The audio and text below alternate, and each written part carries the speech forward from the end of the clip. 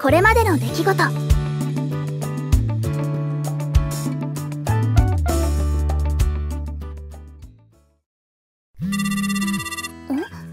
知らない番号からだ。はい。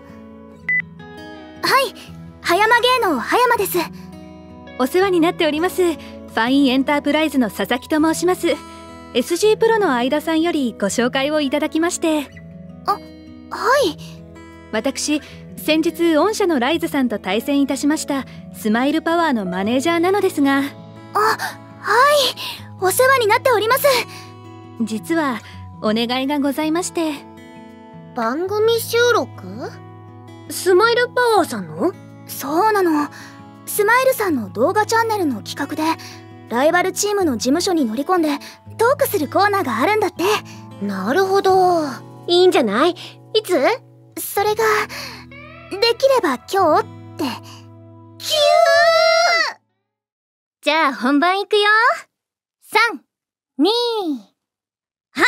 というわけでやってきました。エクストリームハーツ予選決勝で私たちを任したニックキチームライズが所属してるここ。葉山芸能事務所。聞いたことない事務所だけど。それもそのはず。設立したばっかりだって。このビルの最上階らしいですね最上階。なんかリッチ。早速行ってみよう。あのこれ最上階っていうか屋上？あれってプレハブってやつ？初めて見た。あと再現すごい。まさかの自給自足系アイドル。あそこが玄関だね。よしじゃあ早速ノックして。しもしはーいはい皆さんご覧ください。こちら葉山芸能の若き所長にしてライズのリーダー葉山ひよりちゃんです。こんにちは。よろしくお願いします。ごめんね。なんか急にお邪魔しちゃって。いいえ他のメンバーも中にいる？もちろんです。じゃあ早速お邪魔しましま突撃！どうぞどうぞ中は思ったより普通だね。なんか昔のドラマに出てくるお家な感じ？築21年だそうです。お残りのメンバー2人も。こんにちは。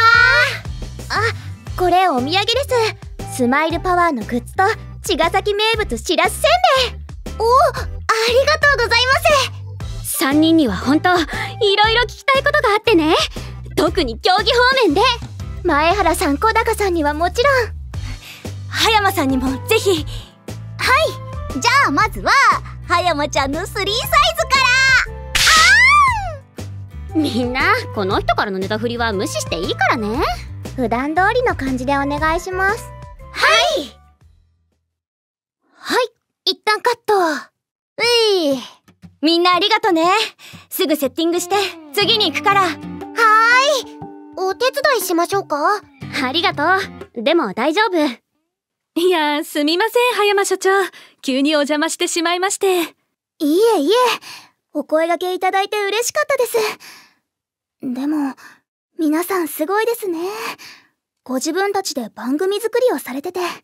アイドルといってもあの子たちは劇場がメインステージでして何でも自分たちで作るのが染みついてるみたいです座長のエミが企画脚本監督出演。カメラマン兼演出家の愛子が撮影演出。他のみんなもいろいろと手作りで自分たちの表現活動を。その通り。時代劇とか歴史ものをお笑い満載の舞台に仕上げてたまに歌って踊ったりもするシアターアイドル。それが私たちスマイルパワー。ですよね。舞台の配信拝見しました新選組シリーズと宮本武蔵が好きです。おおいいねいいね。私の武蔵どうだった？可愛くて面白くて。でもクライマックスではかっこよくて素敵でした。うんありがとう。私たちの舞台を褒めてくれる子はいい子だ。好き。私もエミさん好きです。ひよりちんはシンガーソングライターだもんね。で私は役者兼監督脚本。この辺のトークしたら楽しそう。売れない歌手トークならたくさんあります。営業の話とか他アーティストさんの仮歌収録の話とか。いいね！そういうの好き！リーダー同士盛り上がってますね。ですね。仲良くできるチームが多いのはいいことだよね。仕事で一緒になることもあるかもだし。試合で負けたのは悔しいけど。まあそれはそれ。はい。私たちの場合負けてもそれで終わりじゃないとこあるしね。自分たちの練習も兼ねて勝ち上がったチームの練習相手とか神奈川大会が終わって東日本になったら県代表チームのサポート枠で出場とか。エミは去年メイビーのサポート枠で何試合か出てるし。なるほど。その辺含めていろいろ聞きたいこともあるし日頃から交流しておいた方がいいなって思って私たちもこういう番組できっかけを作ってるの。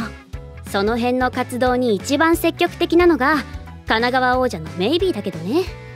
ライズの皆さんはメイビーの皆さんとお会いしたことは？まだです。CM とか配信ではお見かけしますがどこかで声がかかると思うよなんならメイビーの番組で私たちと一緒になったりするかも。楽しみです。よっしゃ。セッティング OK 皆様よろしければ。はーい。よし。じゃあひよりちん収録よろしくおなしょす。はい。よろしくお願いします。スマイルの皆さんには収録後もいろんなことを教わって配信番組や SNS 活動についてのアドバイスをたくさんいただいて私たちもブログや SNS の活動を頑張って進めていくことにしました。あとはマネージャーは絶対にいた方がいいとも。だから予選勝ち抜き特典の事務用ロボットの無償レンタルサービスを使わせてもらうことにしました。どんな子が来てくれるのか今から楽しみです。大会の勝ち抜きとライズとしての活動。引き続き頑張ります。メイビーのエクストリーム豆知識。やっほー。ここではお初世界に誇れる愛らしさ末宗ゆり子です。国内女性芸能人高身長ランキング2位ティーナ・メルキスです。さて今回はエクストリームハーツの参加チームと試合数について。はい。エクストリームハーツは人気番組だから参加希望のチームも多くてですね。アマチュアでも参加できるから仲良しの動画配信グループとか音楽をやってるクラスメート同士がちょっと出てみない？みたいな感じで参加することも多くって。だから試合数もすごく多くなるの。あと実は神奈川大会って言っても参加してるの神奈川県民だけじゃないしね。それね。東日本の大会開催は北海道東北東京神奈川 SIC 静岡。それ以外の県が拠点の人たちは東京か神奈川の大会に出ることが多いの。だからエクストリームハーツ開催期間は参加選手もお客もいっぱい。地域の交通と観光もにぎわうの。会場近くのコンビニとかすごいからね。飲み物とか観戦応援グッズとかめっちゃ売ってるから。地域振興にもつながる参加型イベント。それがエクストリームハーツなの。そうなの。はい。というわけでちょっと短いけど今回はここまで。来週の本編は新しい出会い？うーん。誰と誰が出会うのかもろもろお楽しみに。それじゃあまた